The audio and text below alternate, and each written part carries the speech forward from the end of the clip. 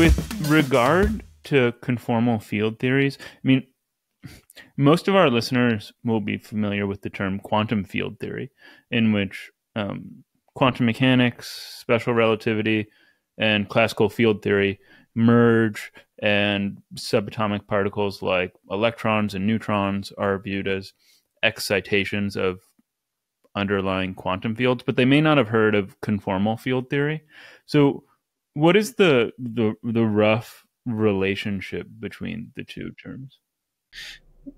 Well, a, a, a, conformal field theory is a special type of field theory um, that has um, has a, an extra symmetry, a symmetry under scale scalings, that the physics at different scales looks the same. Now, if you had a theory with massive particles, the, the, the mass of the particle sets a scale, and the, the theory would not be invariant under scalings. So it will not be conformal. Now, if you took something like the standard model and you went to very, very short distances, the theory is approximately conformal. So um, the so that's an example. So we have these examples in nature.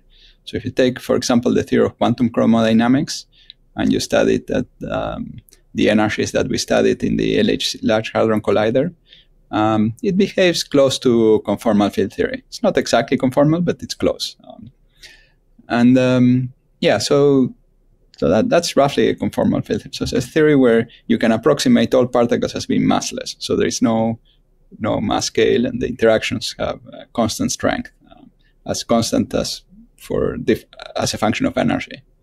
Um, this is not quite the case in the standard model, but it's the, the, the, the, the coupling constants depend a little bit on the energy, uh, but they change slowly with energy. So um, it's close to conformal.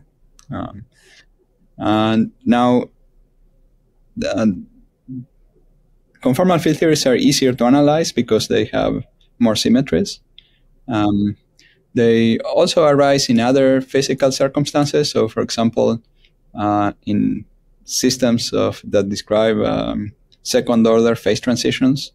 At the phase transition point, uh, the statistical physics that the statistical system that describes that uh, situation is uh, conformal invariant or scale invariant.